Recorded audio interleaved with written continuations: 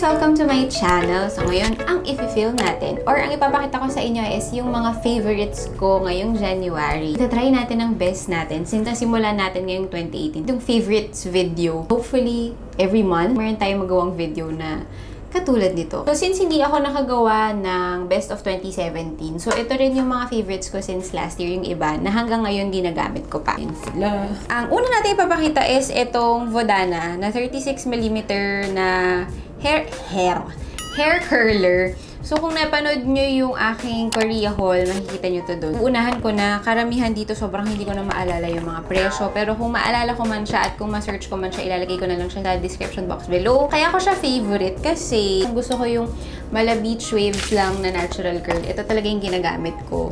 Aside sa dahil pink siya, ang gusto ko dito talaga is hindi ko kailangan ibabad yung hair ko. Kaya ginanyan ko lang siya. So, iwan ko lang siya ng ganyan. Tapos pag nilet go ko na siya, yak nilet go, hair. Maganda na yung pagka-wave niya. Yun yung gusto ko dito sa Vodana 36mm curler na ito. Around 2,000 to 3,000 pesos yung price na in pesos. Next naman is itong black ko na planner. So, ang brand nito is Pilot. Kaya ako siya favorite kasi black siya. yung mga papel niya. Ayan, kung nakikita nyo. Ito yung ginagamit ko ngayon na pagpa-plan. Kasi mahilig ako mag-planner, diba? Follow nyo ako sa Kikay Planner. Makikita nyo doon yung ginagamit ko talagang planner. Pero ito is solely for YouTube ko na plans, mga upcoming videos, nililista ko dito, mga ideas, goals ko sa YouTube, schedule, mga favorites ko, nililista ko dito para hindi ko nakakalimutan. Nabili ko to sa Tokyohan sa Osaka. Kung naalala nyo yung Osaka video ko, kung hindi pa napanood, panoorin siya. Ayan, nandun ko siya binili. Sandamakmak yung planner. As in, sobrang planner and arts and crafts haven talaga siya. Next naman is itong um, nude bouquet na cologne from Zara. Actually, kaya ako to nagustuhan kasi sobrang kaamoy talaga siya nitong, ayan, sobrang kaamoy niya nito. Hindi, well, hindi siya sobrang exactly the same.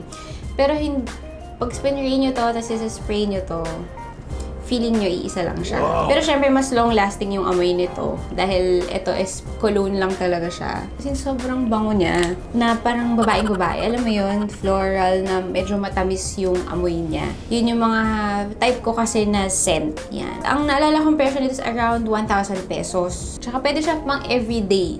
Which is okay dahil nga malaki yung bottle niya. Ayan, next naman is itong lash curler. Ayan, medyo madumi na siya. I'm so sorry. Hindi ko siya nalinisan. This is Shiseido Maquillage. Maquillage Edge Free Eyelash Curler. Kaya ako to favorite kasi pag ginamit ko siya, as in nakagano na agad yung lashes ko. Hindi katulad ng mga iba na kailangan ko pang tsaga-tsagain na ganunin para lang mag-curl siya na ganun. Ito, sakto siya sa lashes ko. Although, syempre, iba-iba naman tayo ng form ng lashes. Although, ito is sobrang nag-work siya sa akin. And sa mga clients ko, hindi ko lang sure kung meron dito. Ang alam ko is may mga online na nagbebenta. So, I'll try to check sa mga online store kung may makita ako na nagbebenta nito. Ilalagay ko sa description box below. So, next naman is itong pore strip. Peripera Kitten Free Step Nose Clear Sheet. So, this is from Club Clio. 1, 2, 3 step siya. Meron siyang open pores. Tapos, ito yung pang-remove ng blackheads. Tapos, ito naman yung pang-close ng pores. Kaya ko siya favorite kasi ito lang yung nagamit ko na pore strip na as in, ang dami niyang naka-harvest. Yung pang-open ng pores is ibababad mo siya for 15 minutes. Diba usually yung mga nabibili nating pore strip dito, so babasahin mo pa yung ilong mo, tapos tsaka mo nalagay para dumikit. Ito yun yung gagamitin mo, yung pang-open ng pores. Yung pore strip mismo, pag kinabit mo siya, mafe-feel mo na maganda yung dikit niya. Na, kasi may mga nagamit akong pore strip na parang alam mo yun yung pagka-sticky niya, gumagalaw, tapos parang may mga naiiwan-iwan pag tinanggal mo yung strip. So, ito, sobrang sakto siya sa pagkakadikit bilang I'm sure yun yung formula na ginawa nila doon. Tapos, after that, yung pang-close ng force.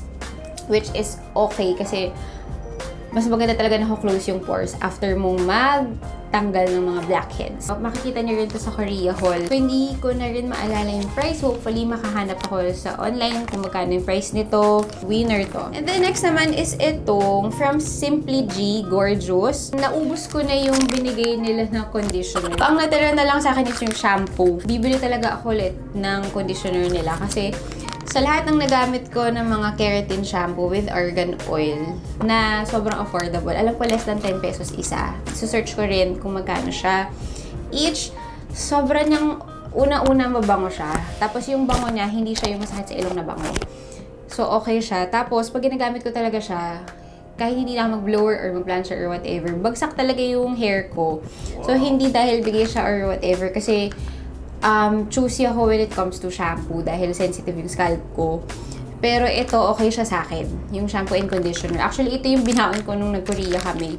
Kaya, sobrang tried and tested ko to. Next naman is ito, uh, MAC Prep and Prime Fix Plus. Matagal nang may Fix Plus. As in, ever since nag-start yata ako nag-makeup sa sarili ko and lalo na sa clients ko, gumagamit ako ng Fix Plus. So, ngayon naglabas sila ng scented na Fix Plus. Ang naalala ko presyo is around 1,250. Ito yung size niya, yung 100 ml. Ang nilabas nila na scents is rose, coconut, and lavender. So, syempre, doon tayo sa pink. Ilang mahilig ako sa mga floral scents. Ito rin yung nagustuhan kong scents. Pero mababango, actually, mabango siya lahat. Yan. So, na-invite kasi tayo sa event, pero wala naman din actually binigay na fix plus doon. So, talagang bumili ako kasi meron ako para sa client, meron ako para sa sarili ko. Kaya ayan, winner to. Ginagamit ko siya before and after kung mag-makeup kasi dry skin ako. So para hindi siya mag-cake or mamuo or whatever sa face ko na mag-dry yung itsura. Yung sa mama ko, yung mga mature na skin, lalo na sa clients or sa mama ko, ni-recommend ko rin to sinasprayan ko talaga sila after para hindi sobrang dry sa sa skin. Kaya, winner! Next naman is itong Makeup Forever, yung Jessie J na palette. Yan, personal ko na palette na ginagamit. Ano, dumi niya, diba? Ito yung mga shades niya. May highlighter na, bronzer, and blush. Kaya ko siya favorite kasi unang-una may mirror na siya. Pangalawa, bilang madalas nagme-makeup ako sa office na or pag nagta-travel para hindi masyadong madaming bit-bit ko. So, at least kasi ito, kompleto na siya, tapos compact pa. Tapos yung shades pa niya is gamit ko talaga. Kaya okay na okay to sa akin. May nabibili kasing refillable. Ayan, magnet siya. So, ayan, natatanggal siya. So, pwede kayo bumili ng mga refillable kung naubos na or kung gusto nyo palitan yung shade. Kung gusto nyo pure blush lang, ganun, or gusto nyo ibang shade ng blush, ayan, carry lang rin. At least, ba diba, refillable siya. Yun yung winner dito. Ang next naman natin is itong Peri Pera Pearly Night na cushion. Ito, binigay ito ni Rich. Super, super thank you. Binigay niya sa akin ito ng Christmas as a gift. Ang shade ko dito is number 2 Pink Beige. Kaya ako siya nagustuhan kasi unang-una, hindi siya gaanong malakit sa face. Or dahil lang din kasi dry yung skin ko. So ito, pag nasa office lang ako or mag-mall lang or mga simpleng lakad lang naman na gusto ko naman nakaayos ako, ito na yung ginagamit ko. Para ngayon, yan ang gamit ko kasi nag inaatakan na naman yung mukha ko, nagda-dry na naman yung skin ko. Kaya ito, sobrang niyang perfect for me. Tsaka hindi ako nag-breakout. Ibig sabihin, kamatch ko yung formulation nila. So, syempre, kung ano yung nag-work sa akin, hindi ko sure kung mag-work sa inyo or kung ano yung nag-work sa inyo, syempre, hindi rin siya mag-work sa akin. Kaya, mas maganda talaga na testing natin mabuti ang mga makeup, especially mga cushion, foundation. Yeah, ayan, winner to. Next naman is itong The Sim. Ang alam ko, The Sim, yung pronunciation niya. Ito siya. This is the Mineralizing Creamy Concealer. Ang shade ko is 1.25. Pang daily or pag gusto ko lang yung simpleng makeup lang tapos nagda-dry yung skin ko, ito yung sobrang perfect na concealer for me. And ang gusto ko dito, hindi siya malagkit. Kahit mineralizing creamy concealer siya. Kasi may mga ibang creamy concealer na parang ang lagkit sa feeling. Ito, moisturizing lang talaga yung feeling niya, which is okay. So, hopefully, makahanap din ako sa Google or sa site nila kung ano yung price nito kasi hindi ko na rin siya maalala. So, sa Korea ko din to nabili, guys. Kung napanood nyo yung aking Korea haul, nandun to. And next is ito, lip balm from Dior. Volupte. Volupte. Tint and Balm ng Dior. So, ang shade niya is, ito, I think number 5. Yan lang yung nakalagay. Yan, ganito siya. Kaya ako siya gusto. Kasi nga, sobrang dahil ng lips ko. So, parang hindi na ako masyado bumibili ng mga matte lipstick. Kaya, ang ginawa ko is, um, pag naglalagay ako ng lip tint na medyo pinkish, naglalagay ako nito on top. Kung nakikita niyo yung mga videos ko before, nakita niyo pinkish yung lips ko, tapos parang may bond. Ito yung ginagamit ko. Ayan o. Oh. As in, tint siya, pero hindi siya kasi drying. Kaya okay siya pang daily or pag sobrang dry ng lips ko, ganyan. Sobrang, sobrang, sobrang favorite ko to ngayon. Hindi ko lang ma... Ay, ito pala isa. Ayan. As in, ito yung sobrang halos araw-araw ko na siya ginagamit. 3CE na velvet lip tint and yung lipstick nila. So, yung lipstick, ang shade na meron ako is yung number 221, Mellow Flower, and number 117, Chick Full. Tapos, itong Velvet Lip Tint is yung Pink Break and Taupe. Kaya ako siya favorite kasi matte finish siya. Although may mga times na nagbabakbak pa rin yung lips ko, na feel ko nagda-dry yun dito. Pero hindi siya as drying as ibang matte lipstick. And kasi naman yung shade niya, sobrang perfect para sa akin ha. Sobrang perfect niya. Kaya hindi ko, as in, minsan apat-apat ito lahat nasa bag ko. Nagsisisi nga ako na ito lang yung nabili kong shade. Kasi first time ko matry na yung 3CE na brand. Although matagal na siyang sikat. Pero nasa Korea kasi kami. Ito lang. Type sabi ko, sige, susubukan ko muna.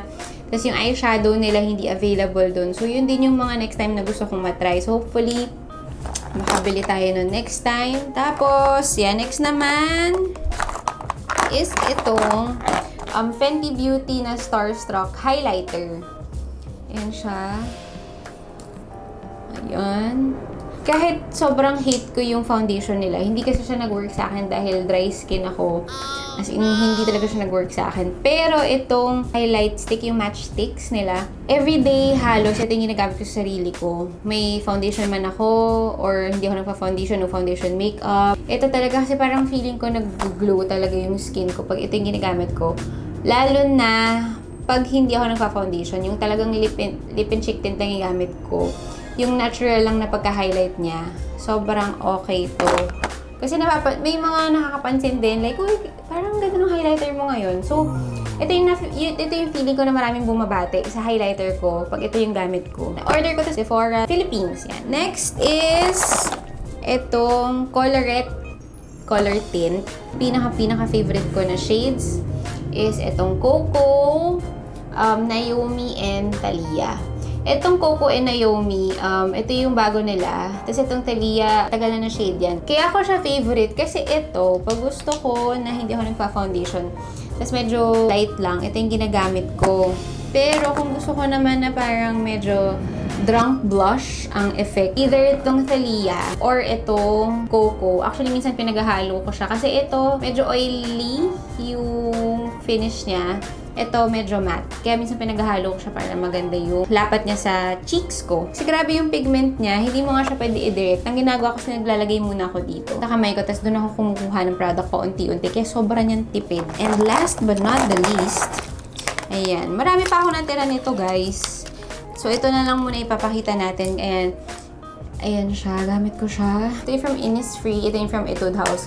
Actually, ang dami ko pang stock. Kaya ako siya favorite. Kasi, sobrang hilig ko talaga sa nail ever since nauso yung acrylic. Nagpapa-acrylic na ako 3 years ago. Tapos, yung na-discover ko tong press on nails kaila, kaila Ann Clothes, siya kaila Riza. Sabi ko, parang okay yun ah. Kasi pinipress lang siya. Tapos, sakto nung pumunta ako ng Korea, nakita ko to na sobrang dami doon. Tapos, nung una ko siya na-try, akala ko pa, good for one day lang siya kasi hindi yata tama yung pagkakabit ko or dahil lang parati akong gumagalaw dahil kasama ko si Pablo, nasa travel kami, ganyan. So, parang one day lang nag-last sa akin. Pero grabe, pag tama yung pagkabit, kasi kailangan mo na siya bonggang i-file, tapos kailangan malinis yung nails. Talaga pag kinabit. Umaba siya ng 5 days, 5 days to 1 week, yung press on nails. Tapos, sobrang dali lang niya ikabit. Basta present mo lang siyang ganyan, hahanapin mo lang kung ano yung mga size na kasha dun sa nails mo. Sa isang pack, nakakabuo ako ng dalawang set ng nails. Hahanapin mo lang yung size. Hindi man siya sakto dun sa pangalawang set na, pero pwede pa siya. So, sulit sa isang pack. Ang price nito is around, I think, 400, 500 pesos. Kung i-convert mo siya sa peso. Yan yung price niya. Kaya, yan, that's it. Ayan, yan na po lahat ang aking January favorites. Sana nagustuhan nyo yung mga pinakita ko and sana pag na-try nyo siya, magustuhan nyo din. Yung mga pinakita ko yun talaga yung mga product na tried and tested ko na. Kasi ang goal ko dito pag nagpapakita ko ng mga favorite ko talaga is yung matagal ko na siyang nagamit. Hindi yung parang bigla ko lang naggamit or tapos nagustuhan ko na tapos baka kasi mamaya hindi ko na siya mabitan. Yun, yun, yun talaga yung gusto kong ipakita sa inyo. And sana nagustuhan nyo itong video na to. Kung nagustuhan nyo itong video na to, please don't forget to like this video. And kung may mga gusto pa kayong makita, mag-comment kayo sa comment section down below. And hindi pa kayo nakasubscribe, please subscribe to my channel. And kung nakasubscribe na kayo, thank you so much. Pero, kung nakasubscribe na kayo, please don't forget to click the notification bell down below. And thank you so much for watching. See you on my next video. Good night. Bye! I know it's alright, we're one of a kind. Won't leave you behind. Hello. And all through the night, when we're running love on my mind. Hello. Hello. Take one. Ready. January, February. Go.